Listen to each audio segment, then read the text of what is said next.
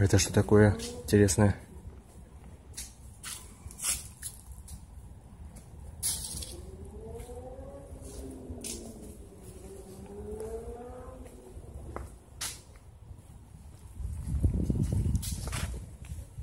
Что-то какой-то... А может тут хмель? Хмель где-то? Где сам чеснок?